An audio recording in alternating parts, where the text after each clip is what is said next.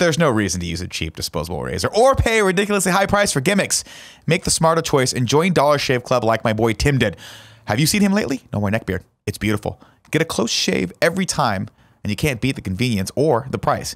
If you haven't tried Dollar Shave Club yet, you're missing out. It's an amazing shave at an affordable price. There's no smarter choice on the market. And right now, they're giving away a one month trial of any of their razors for $1 with free shipping. And after that, it's just a few bucks a month. There's no long term commitment, no hidden fees, and you cancel whenever you want. Get your dollar trial at dollarshaveclub.com slash Greggy. That's dollarshaveclub.com slash Greggy.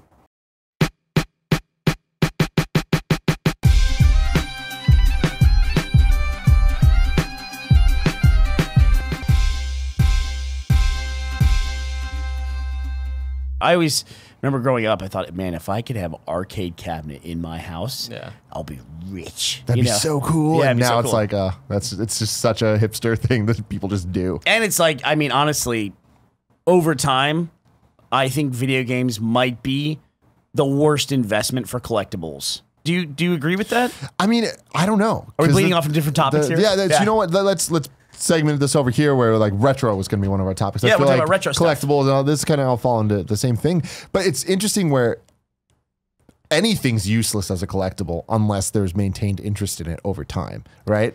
Right, but I think that people like even games that I loved growing up, they just don't hold up over time. And it's interesting to like what's what to you would be the ultimate video game collectible from you growing up, something you would play and you'd want to have it again. See, I mean, f- my thing is, uh, and again, going back to the Gamescast me and Andy did, I think that the greatest single video game as something that you could buy in a store is the Mario All Stars Plus World collection on Super Nintendo. It collected Mario 1, 2, 3, World, and Lost Levels, which is the Japanese 2. Great collection of games, hold up today. They were the HD remakes of the NES ones. And that is a, a cartridge that at any point in my life, I'm like, that's a fucking classic. yeah. Well, I remember as a kid growing up, Now, uh, my about- friends would have collections of comic books under their bed, and like, it'd be worth so much someday. Turned out to be true, but occasionally there's one in there that's worth a lot, and a bunch that are worth nothing. And I think of like the World Championship Nintendo cartridge. Yep. There's some mm-hmm. things like that in video games that are like an individual thing that are rare, but a collection of video games over time is an interesting thing, but not something that's like this crazy thing that's increased in value because you've had this collection. And maybe it will like 20 years from now, but I thought it would be there by now. I mean, every once in a while you see like articles written up about like this guy has every Wii game ever made, Right. And it'll be like a crazy room with all of it, and then it'll sell for something ridiculous. But a lot of times people aren't even trying to sell them; they just want to have it. Correct. And it, it goes into one of those things like Pokemon cards, right? They were a fucking huge boom, and these are going to be worth so much. And it's like they were worth a lot for a while, but then over time it went down. But there's a lot of them that are still worth a lot. If you go on eBay and try to get a first edition Charizard now, it's still going to go for a lot more money than a little piece of paper should go for. Sure. Yeah, that kind of thing. But if you have a cartridge, like there's some stuff like Earthbound, which I think Yeah. has increased in value quite a bit because it was very rare. But like if you had a like if you had Super Mario Brothers from the NES, that's a that's a seminal experience for so many people. If you had one new in the box, that wouldn't be worth like fifteen hundred bucks. You know, I don't Maybe think. not fifteen hundred, but I think that that still even that in box would be if we were to eBay. Like let's let's try looking now, like try- new in box. Mario, because I feel like even going back to like the PlayStation era, trying to buy like a Crash Bandicoot new in box, you're still gonna pay like a hundred dollars for that thing. I don't even know Super Mario Brothers new in box exists. Because the thing with Mario is it that game got so cheap that I remember a point at FuncoLand where they were selling the Super Mario Bros. slash Duck Hunt game for nine cents. They were selling it for nine cents, which back then I was like, "What's the point?" Yeah. like you, I could buy away. so many of these, and it's just like not even a thing. So here's a guy trying to sell Super Mario Brothers 3, brand new Nintendo NES factory sealed, $299. He's trying to sell it. I, I have no idea if he's going to be able to. I forgot that's how the boxes looked. yeah, just the square rectangle. Yeah, My thing is, that. growing up, I uh, I grew up. I was born in 1989, which meant that any NES game I played was like NES was done by that time. Sure, yeah. So I had never even seen an NES box until years later because we would just buy a bunch of them at uh, garage sales and shit, and they were just loose. So I might be eating my words here. Super Mario Brothers 1 Nintendo Entertainment System, 1985. New fact 1985? That it seems like it was later than that. Mario one was 85, New factory sealed. It's for sale for $620. and that's always the hardest thing is like, are people actually buying these things? Because you see like, oh man, the Switch is sold out everywhere. It's selling on eBay for nine hundred thousand dollars. Like, no, it's not. Someone Yeah. just has that number there. You know? Yeah. But here's a cartridge, Super Mario Brothers 3, 10 bucks. Like that's why still is it yellow? that- I don't know because it's old as And hell. Why is that red? Those don't seem real. Yeah, or like a Super Mario Brothers Duck Hunt cartridge from back in the day. It's it's 20 bucks now. And It's it was less- literally nine cents at GameStop. yeah. So and it was when you bought it, it was probably 50 bucks. yeah, I don't know or how even much- more. I mean, that's yeah. the thing. Like Earthbound was so expensive. We were Like just talking about- 120 or one hundred. like when, when it first came out. Yeah. uh, I think it was like 90. I think it was like 80 or 90. But uh, yeah, I don't know. I think it's what just like anything, collecting something. There is an audience for that thing. Right. And if you have all of that thing, it's going to be worth it to you and maybe not anyone else. But the moment you have all of it and you say this is worth something, people are going to look at it and be like, oh, yeah, it's worth something. They have all of it. So Yeah. it was worth collecting for them. It's like Earthbound. We've been talking this as being a huge collectible. Earthbound Uncut Complete Box Set, new sealed SNES, 80 bucks. I would th- I would have thought that would have been like 1200. But then what's this one? But see, these are reproductions. Something about this seems off. $500? Questionable. We're just sitting here. We're, this is a show where we that- look at a that's it. laptop. This now. is the one that I'm seeing. Yeah. That's four The like the four thousand dollars one. That's the giant box. That is the actual Earthbound box. from Super back in the day. Nintendo SNES Earthbound, new in box, brand new in original box, VGA Q85. I'm sure that means something to someone. Four thousand dollars. Very good. Eh, All. Oh, good job, Earthbound.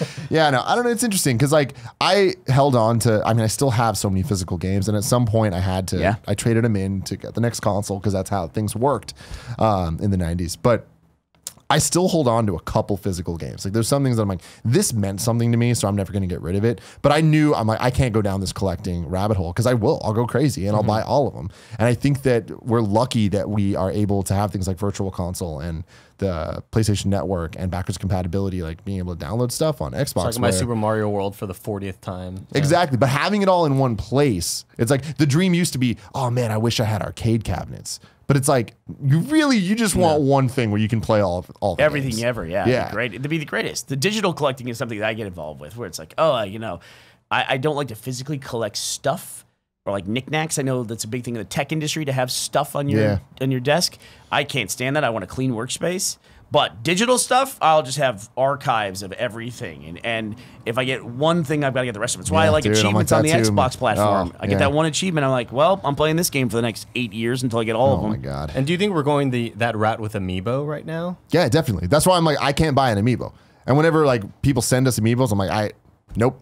Need this thing away, away from me from me. because I'll just get addicted to it. Yeah. I'm like, I don't want that because once I have one, I need them all. Because then you get the you get on that hunt where you find out about the super rare one, which Yeah. I don't know what the really rare amiibo is right now, but you want that fucking item, and it's on eBay for I don't know sixty bucks, which you know isn't crazy, but it's like more than I want to spend for a fucking plastic toy that Yeah. I'm probably not gonna give a shit about in five years. But let me tell you why you would, because uh, Mario Kart just came out, recently came out on the Nintendo Switch. It was amiibo enabled. Mm-hmm. And so Caden, who has a full collection of amiibos, she brought him into the know, and everybody unlocked every possible character Yeah. on Mario Kart day one. So she's the hot business. She has, she could have had a whole little business going on there. that's how it was. with- storing money from people. You I like the way you Oh, think. yeah, yeah. just be like, Renting hey, you want to come out. by and rent out these amiibo? leasing Get them all out and the, shit. yeah. Let me see Holy, this. that's a good deal. So what's the most expensive amiibo?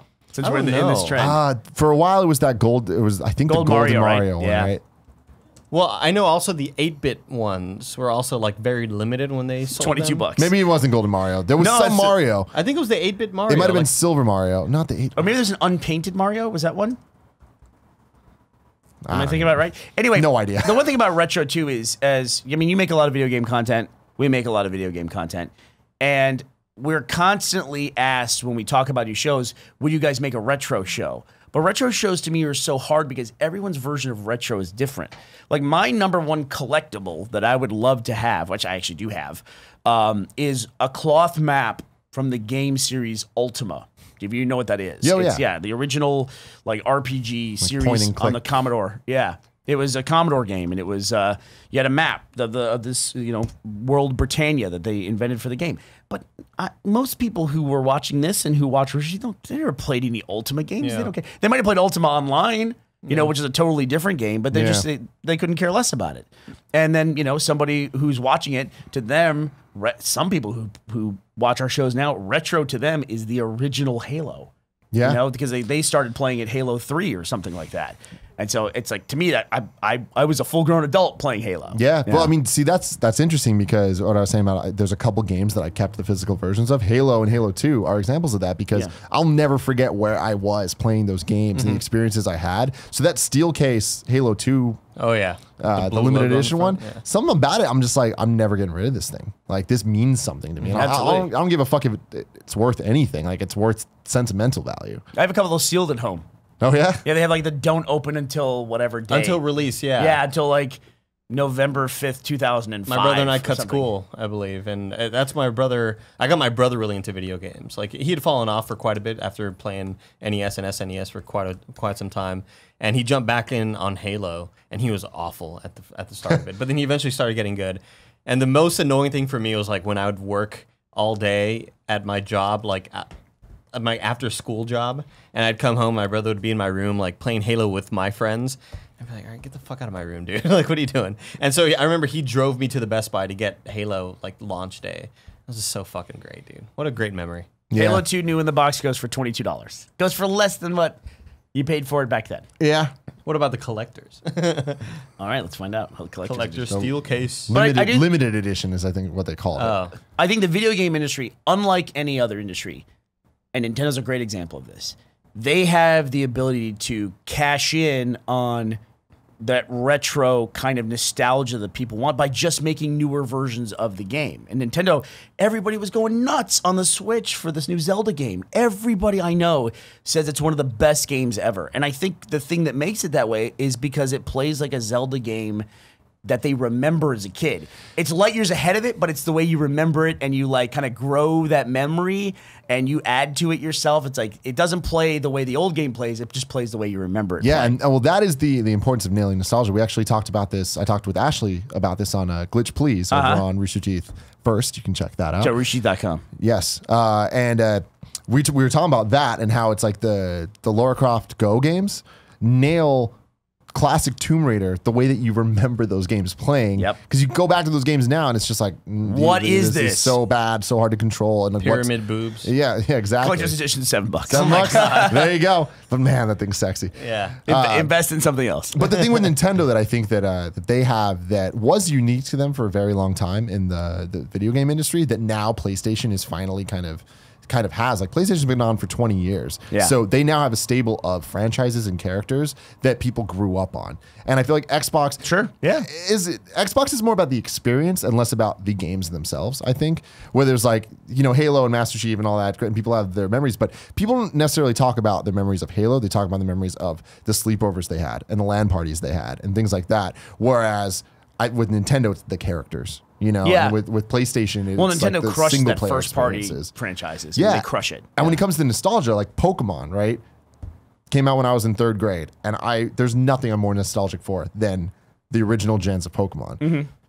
There are kids now. There are seven generations of kids that grew up with a different generation of Pokemon that have that same feeling for those Pokemon. Right. You know, Nintendo just does the same thing over and over, but it's always to a new audience. Yeah. Like I, I, I'm I'm always amazed. We worked with a guy who his first Star Wars movies he ever saw were the original trilogy, and he's like, "These are the greatest movies ever." And You mean the prequel trilogy? yeah, when I said the original, yeah, I meant the one through three. I meant Yeah. the, the Yeah, newer, yeah, yeah. Talking about prequel trilogy. Yeah, I'm talking about Blanchard. Is that serious? Is he? Is No, that he in genuinely jest? likes them. I think he genuinely likes those movies. Generally likes or generally liked? No, 'Cause those he- are different statements. No, he has he has made a little bit of a turn. Okay. and where he realized, oh, maybe these movies aren't great. Because I mean, I grew up with them too. I'd seen the Oh, originals yeah, first, yeah. but Yeah. like going, I remember going to the theaters and watching uh, one and two and um, and three, and not. I mean, I was a dumb kid, so episode one to me, I was like, dude, the pod racing was cool. Episode Darth Maul had a fucking incredible. dual sided lightsaber. Are you fucking kidding me? They spoiled it in the trailer. What was that about? Never But- understood that. Hype. Episode one was great to me, but You need hype for the new Star Wars movie after guess 20 not. years. even episode two to me was like, I'm still young, but even I, I know that this is not a good movie at all. My brother and I were so bummed out in See, the theater. watching two for me, I was young to the point that like Yoda pulled out his lightsaber. Yoda's gonna fucking fight. Oh my god! And but then it's like so years later, I grew up. I'm like, wow, what bad character development. Why would they I, do all I, that? I was in the movie going, what? The the Buddha character has a lightsaber and is jumping around fighting a little stuff? tiny lightsaber That's not what he around. does. It, was He's very slow, strange so to me. Yeah. But everyone in the theater was going, "Oh my god!" I'm like, "This is totally out of character. this is so off-brand for Yoda." But uh, yeah, GoldenEye for the Nintendo 64, great retro game. Yeah. you would never want to play that game today, but it's you know 30 bucks, and Yeah. so many people would identify that as one of the greatest games to ever be put out for a console. And It- playing it now is rough. it's hard. rough, man. It's hard. It had paintball mode though. It did. It did. Had the golden gun mode, which I And really GoldenEye, liked. I think, it goes back to what I was saying about uh, kind of what Xbox has going for it, where it was about the experience more than the game itself. I think you're right. You know, with GoldenEye, it was it was no one else could do FPS on a console until GoldenEye kind of did it right, and then I give Halo a lot of credit for getting it right, and then Call of Duty. I mean, the way I see it is GoldenEye kind of made it fun for coach couch co-op uh, to be able to just play, or not even co-op, just multiplayer, and play with people in a room and have it be fun. And that they perfectly nailed the one more match, one more match, one more match mentality. And then meanwhile on PC side, of course, they they there was so many great first person shooters, but a lot of them were story based. And then there was the Unreals and there's Counter Strike, which like they had, totally had their thing going, right? But N64 still just had the hey, it's just fun to control, and it only had one analog, and there's no way this will be good. And it wasn't until um, that team went off and did TimeSplitters where they did the dual analog thing on PlayStation 2, and then Halo came in and were like, oh no, we we're gonna do this right. Yeah. and like they just knocked it out of the park. nailed it. Yeah. Yeah. You know what's going to be interesting to me for retro going forward is the generation of people who are growing up playing video games now.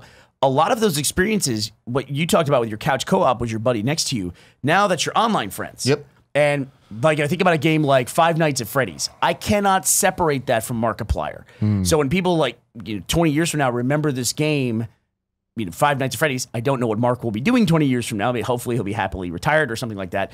But people will be their retro experience will be thinking about that personality that they experienced it with. I didn't really have that growing up. I had my hmm. buddies that I played games with, my buddy Randy that I played Ultima with. Yeah. But I didn't have these personalities that then go off and do other things. And it's like they're tied into that experience. I'm curious to see how that'll be in, Yeah. in a couple decades. I mean, I I've already lived through enough of that to see such a change where it's like I have my friends that I played Smash Brothers with, or you know what Mario Kart or whatever, and then my buddy Alfredo, he got so into uh, the online first person shooter thing in the MLG way and in the clan battles and in all that stuff, and I'd be hanging out with him and he's telling me about all these friends he has, and I'm like. Who are these people? I go to school with you. Yeah. And he's like, no, man, these are people I just play with online. Yeah. And like they would meet up and hang out and then like And to then see your what friendship we was over. yeah, no, it, dude. Junior year of high school almost destroyed me and Alfredo because Counter Strike just took over his life. When it came to Xbox, he just Yeah. was gone. Do we have any piano music we can Yeah, play here? no, You the, know, the sad. Play play the leftovers music. yeah, yeah. But uh, no, it was crazy, man. But then, but he did that, and then he introduced me to this whole group of, of friends that he had. I remember we went down and stayed with his online friends in LA. Yeah. and we just had a place to stay, and it was we had an awesome time. Terrible idea, by the way. I know, yeah, but now, but now it's just it's kind of a normal thing. Like when when we do like community events, like Kinda Funny Live, or any like we just go to PAX or whatever. There's a bunch of the community with like 12 people in a hotel room, Yeah. and I'm like, that sounds like a disaster. Been there, yeah. Yeah. yeah. Been there. But Five people in a hotel room, six people. Listen, smells gross. he was coming up for kind of funny live too and we were we had just arrived from austin and we were all going to the hotel. I said where are you staying? And he goes i'm staying in a in a, a fan let me sleep on the floor in like a room with 18 other people and i said i'm getting you a hotel shout out to Trevor Starkey. I know that you were not on the official list of traveling people for Alex this, Aziz. but I'm getting you a hotel room so you don't have to stay on the floor. oh man, And I That's what it is, appreciated man. that. I'll never forget to Apparently you did. That's why you quit. so. Thanks for the hotel room. I'm out. Little did I know I was funding his recruitment at, uh, at Kind of. Funny There at the time go. Time. Oh man, The seeds were planted I'm early, sorry, we, we stole them from you guys. It happened. That was a whole thing where it was just like, as we were talking about it, we did, we came to a decision at an Outback Steakhouse, as good decisions are always made. Uh, when me and Kevin were like, we want Andy. Like Andy's the dude that we want for this this role. And I was like, oh man. Like, See, and that's important is- because we never said that. Actually, turnabout is fair play. Greg is not getting married today. He's packing to move to Austin. and we're going to announce that Greg Miller's moving over to Rooster That's Teeth. what I was Oh, saying. yes. I think the the on the drive over here, he was on a flight to Austin to go record stuff with y'all, and uh, and somebody was like, "Man, uh, did like what's did you all trade spots?" I was like, "Man, Rooster Teeth got fucked," or no, kind of funny got fucked with this trade. Like they totally yeah, got me. ripped off. Or me or you? Me, But one of our, our first things with that was we were like, all right, we gotta talk to Rooster Teeth. We gotta talk to everyone at Rooster Teeth that might be upset about this and see if they're cool with it. So we hit you up, yeah. we hit Jeff, we hit up our friend Lewis, and um, a couple other people, and it went all the way up. We ended up talking to Matt, we ended up talking to to Ezra, who was like Fullscreen and all that shit. So I'm like, man, it went up there. Well, we had to talk to the guy that Andy actually worked for, which is the head of the games yeah, division. Michael. Yeah, and uh, yeah, he was. You might he might not be your best friend. He was very sad. Yeah, no, put I mean he's an awesome man. We've talked many times since then, and I don't know what he says I'm just behind saying you were doors. you were a valuable employee, and Michael Michael misses you. I know. I, yeah, I miss them too. I miss them too. yeah. But I, I went to this. What's that? That life's over, Andy. Kevin Yeah. tells me everybody back home is dead. Forget about them. They're, Yeah. they're gone. It's, it's, it's, you gotta do it. You're dead to me. So I, I think I wrote that on Twitter. Good luck. Good luck. You're dead to me. Uh, but I did the same thing too. Um, even though it was pretty clear that Meg Turney was going to come and work at Rooster Teeth, I called Phil DeFranco and told him. I said, I said, listen, it's really rare that someone of the caliber of Meg Turney moves to Austin, so we're probably going to offer her a job. And I wasn't asking for permission. Yeah. You know, because that's between us and Meg, and Meg makes her own decisions in her career and makes very good ones. Uh, but I, you know, with I just wanted to give him a heads up. You know Yeah. what I mean? And you have to be kind of careful about that too. I, you know, puts the employee in a great position because then the current employer might go, "Hey, we want to keep you." Exactly. You know, and that kind of thing. But especially if you know people. You want to be able to make sure that you do that kind of thing because that can you can go back and forth on that and it gets crazy in a Absolutely. heartbeat. I mean, it sounds super corny to say, but every relationship requires communication. You know, Yeah. and it's just like I feel like any even business relationships, it's like you need to make sure that you're communicating what your side of the story is because otherwise they're gonna think they're gonna come up with their own version of what your story is, and they're gonna look at it more as oh they're fucking us instead of oh no this is just a total, you know, a business decision that is being made because people believe this is the right thing to do or or whatever it is. You're going to end up in the same rooms again at some point. Exactly, exactly. And it's also like there's no reason to bite the hand that feeds when it comes to opportunities and stuff like that. So it's just like we definitely do not want to have a bad relationship with you guys. Like that'd be so Yeah, stupid. but no, or, or but if you can screw over somebody you hate, then that's Then- then you're- then that's the win-win. Well, how have you you kind at a of party and you're like, hey, Thanks for watching this episode of the Game Over Greggy Show. Click here to subscribe. Click here to support us on Patreon. Click here to see other episodes. Click here to go into a portal to take you to kind of funny games. I'm Greg. Kind of, I kind of made all this happen. But I mean, not in like a conceited way. I'm just saying, if I didn't want to do the Oreo show ever, then it would have never happened. I hope Kevin isn't mad at me. You mad at me, Kevin?